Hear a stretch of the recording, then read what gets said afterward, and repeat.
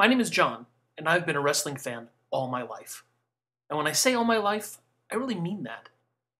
When my grandfather used to babysit me when I was a baby, he would watch professional wrestling while I sat on his lap.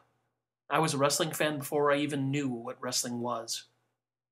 However, while I've been watching wrestling all my life, I've never been an active participant in the business. I've watched TV, I've been to shows, but I've never been behind the curtain, not once. So all of what I'm about to say has a huge caveat. I'm a fan, and this is a fan's perspective. Specifically, it's a fan's perspective on the current WWE product. It's something I feel is important because the WWE doesn't just see me as a fan, but as a customer. And with the current state of affairs, if I want to watch pro wrestling, unless I want to go out of my way, the WWE is really the only wrestling product available. Now, don't get me wrong, I also watch Japanese wrestling, Mexican wrestling, and all the indie circuits. I watch Impact, Ring of Honor, Chikara, Pro Wrestling Guerrillas, Empire Wrestling Federation. If it's wrestling, I'm there. But for most Americans, a huge majority of them I suspect, WWE is pro wrestling. Just recently, a friend of mine told me a story about watching wrestling with his not a wrestling fan wife. He said, I was explaining how wrestling worked, and then I had to explain why the WWE doesn't do it that way. WWE is the only wrestling most fans know, and from this fan's point of view, it's treating its fans, its customers, incredibly poorly. In fact, they're treating us like we're stupid, lying right to our faces. In wrestling parlance, wrestling fans are marks, another term for sucker. Well, I'm not a mark. I'm a fan, a customer even. And I can sum up that really big lie and the reason I don't like WWE programming in general with one sentence. Triple H is telling the wrestlers and the fans that winning and losing don't matter. The irony of that statement really hits home for me, hits me hard like a sledgehammer to the face. But for those who don't understand, let's take a deeper look at that sentence. Paul Levesque, otherwise known as Hunter Hearst Helmsley, or Triple H, built his status in the WWE with something wrestlers call protection. That is, he almost never lost a match. And when he did, it was a dirty finish or a schmozz. He lost not because of his own skill or his opponent's skill, but because of outside interference, cheating, a bad referee call, or just bad luck.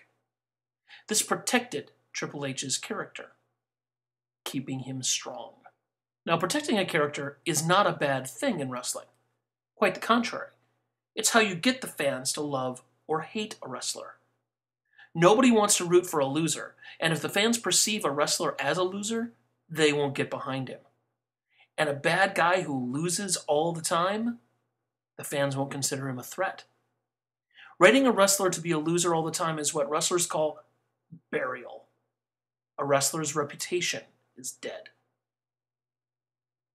Triple H, who by all accounts is a very smart man who understands wrestling incredibly well, knows this. When he was an active wrestler, he did everything he could to protect his character. And that's smart. It's also why, until recently, wrestling had a lot of guys whose job was to lose. In the industry, they're called jobbers, or jabronis. Yes, that's where The Rock got the word. A jobber's job, if you will, is to make the other guy in the ring look great. Make me look like a million bucks, is what a lot of the wrestlers say. And so, the WWE, then the WWF, employed guys like Barry Horowitz, the Brooklyn Brawler, and Terry Gibbs for the sole purpose of making the other guy look like a million bucks. And that's how you get a guy over in professional wrestling. You make him look strong in his matches. And you do that by having the other guy in the ring make everything he does look gold. Unfortunately, jobbers are a thing of the past, largely due to the Monday Night Wars, but that's a different rabbit hole to chase down. Suffice to say, without jobbers, everyone in the WWE is a superstar. And the current writing the WWE employs is something many have called even Steven booking. By the way, booking is wrestling jargon for writing out the show. Now, before I get to that, let me pause to explain how wrestling used to work.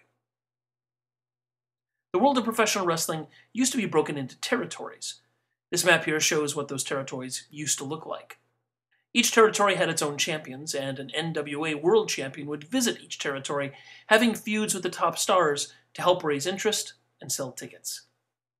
So, let's pretend I'm the promoter of a territory in the United States, let's say Arizona, because that's where I currently live. I have my own local champion, maybe a pair of tag team champions, and maybe even a minor title, so I can test guys out with the crowd before I move them up. I have a weekly free television show Free. Remember this. It's free. That'll be important later.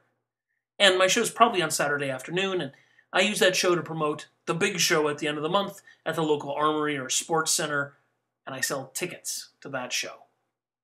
So, how do I sell tickets? I do it with feuds.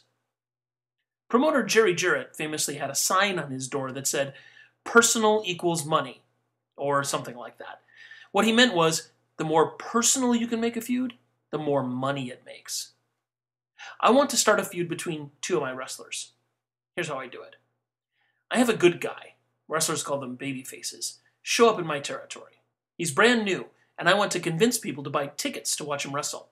Remember, TV is a free show. So he shows up, and I give him a match with my best jobber. The jobber is going to make my baby face look like a million bucks. He's going to bump all over the place. He's going to make him look gold. And after the match, my baby face will have an interview saying, It's great to be here. I love the fans, and I look forward to working hard, and I want to entertain each and every one of them. Pretty standard stuff. Later in the show, my bad guy, wrestlers call him the heel, shows up. He has a match with a different jobber and throws this kid around the ring something awful. He cheats a lot. He uses dirty moves, and he usually wins with a move that puts people to sleep or makes them give up. Then he walks over to my interview guy and says, This new kid is a pipsqueak. I'd clean his clock with both hands tied behind my back. He'd better watch out. Now, granted, this is some pretty basic stuff. I mean, this is booking 101. You can do more sophisticated stuff, and I really like the sophisticated stuff. But right now, I'm just trying to show you how wrestling worked back in the day. So on our next TV show, the hero comes out, has another match against a slightly tougher jobber, but he still wins in the end. Johnny Babyface says that he heard what the masked heel had to say, and he says, anytime, any place, buddy. And that's when the masked heel jumps Johnny Babyface. Right there, during the interview segment. He jumps him from behind, throws him in the ring, and starts working Johnny over. Except Johnny doesn't go down without a fight. And maybe he even starts getting the upper hand. And that's when the masked heel hits Johnny with a low blow or with a foreign object. And when our hero is stunned, the masked heel throws on his sleeper hold. And Johnny bravely fights against it, but he can't get out of it. And the referees run in and break everything up. And the masked heel goes to the interviewer and says, You see that? You see what happens when you mess with me? Go home and never wrestle again. Of course, Johnny recovers and tells the announcer, He wants a fight? Let's fight. This weekend at the Armory, it's you and me. Let's have a match. And the promoter comes out and says, Oh, Johnny, you can't just go around making matches yourself. And Johnny tells the promoter, I'm willing to do anything to get my hands on that guy. And the promoter tells everyone, All right, if the masked heel will sign the contract, we'll have a match this weekend at the Armory. Buy your tickets now. And that's how wrestling used to work. You use TV to build up your local show. You convince people that they want to buy tickets to watch Johnny Babyface kick the holy hell out of the masked heel. And of course, you spend a couple of, you know, shows with the masked heel putting Johnny Babyface in the sleeper hold and Johnny Babyface almost makes it out, but the heel cheats in a way and puts him back in it. That's how you sell tickets. Everybody wants to see if Johnny Babyface can break the masked heel's sleeper hold. That's how wrestling used to work. And it worked. For almost a century, there are variations on the form, of course, But that's how wrestling works. You are trying to convince fans they want to buy a ticket to watch two guys beat each other up. And you protected wrestlers' characters, because if you didn't, the fans felt a heel wasn't dangerous or the babyface was too weak to win, well, they wouldn't buy tickets. Wrestling fans and fight fans in general buy a fight because they want to see who will win. The only way to do that is to keep the wrestlers credible. Triple H knows that. And I know that he knows that. I'll tell you how I know he knows that. But first, let's talk about how WWE handles their booking. That even Steven stuff I talked about before. In the WWE, every wrestler is a superstar. That means everybody has to get their fair share of wins, so everyone is protected. The WWE doesn't really have jobbers anymore because, well, everyone's a superstar. It works like this. Let's have a feud, like we did with Johnny Babyface and the Masked Heel. Now, in the old days, you'd never see this match on TV because you want people to buy tickets to see the match live. But the WWE doesn't write storylines that way anymore. Instead, they book Johnny to win the first match. That's right. We start a feud between a good guy and a bad guy, and the hero wins the first match. Not only that, but he wins the match on free TV. The guys start their feud at the start of the show, usually Monday Night Raw, and by the middle of the show, they're having their match. The heel says something smart about the baby face. They declare, We're gonna kill each other! And then an hour and a half later, there they are in the middle of the ring having a match, and the hero wins. Well, doesn't that mean the feud is over? Not in the WWE, it doesn't. Because next week on Raw, the babyface and the heel have another match, and this time the heel wins. And then on the next Raw, the babyface wins. And the next Raw, the heel wins. That way, both superstars are protected. And after a few weeks of this, the WWE says, hey, want to buy a pay per view where you can see these guys wrestle? Well, no. I've already seen it. For free. Four times. Why is this match going to be any different? This is how the WWE books feuds. And it goes on and on until one wrestler wins the last match and then the feud is over. No explanation, it just is. The loser and the winner move on to different superstars and different feuds, and they trade wins with those guys. Yes, with even Steven booking, everyone is protected. Nobody gets buried. But on the other hand, nobody gets over. WWE creative staff, Triple H and Stephanie McMahon, explain this booking philosophy by saying that wins and losses don't matter anymore. I'm not making this up. That's what they say. Wins and losses don't matter anymore. When Brock Lesnar first returned to the WWE, they built him up like an unstoppable force of nature.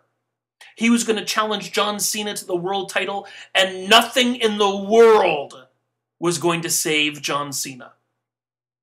Except John Cena won. And he won clean. That is, one, two, three in the middle of the ring. And then Brock Lesnar was going to fight Triple H, and there was no force on earth that was going to stop him. Except Triple H did. Clean. In the middle of the ring. One, two, three. If Brock is such a force of nature, if he's such an incredibly powerful heel, why do you beat him? Twice. Because wins and losses don't matter anymore. Those words from Triple H's lips.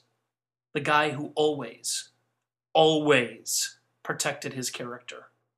If he lost a match, he spent 10 minutes after the match beating the hell out of the guy who won to get back his heat. And he usually used a sledgehammer to do it. To his credit, Triple H is a great wrestler, and he's a smart guy. He understands the business. And I know these things because of the way the WWE is treating a single superstar. That superstar is Roman Reigns. When I watch the WWE and I see how they handle Roman Reigns, I know that they aren't really sold on the wins and losses don't matter philosophy. Why? Because Triple H is booking Roman Reigns the way he'd book Triple H. There's another guy they protect as well, and of course, that guy is John Cena. They keep him away from losing, and when they do book him to lose, they make sure he's protected. His character always looks strong. And there's another guy they're protecting, Randy Orton. They know how to make him look dangerous, and he almost never gets the even Steven booking treatment. The WWE knows what they're doing. Their public face is wins and losses don't matter. But when it comes down to the guys they want as the face of their company, that booking philosophy goes out the window. And there are guys on the roster who could benefit from legitimate feuds. The WWE says you have to get yourself over to their workers. Well, there's only so much a wrestler can do when he's booked in a feud that nobody cares about. And the fans may cheer him for a little while, but once they've told him this guy is a loser, they'll stop cheering. Because nobody wants to cheer for a loser, no matter how hard he tries to get himself over. So I don't buy it. And I'd really wish the WWE would stop treating me like I'm stupid, telling me things that I know aren't true. In other words, I would prefer if the WWE stopped treating me like a mark and started treating me like a fan, like a customer. Thanks for listening.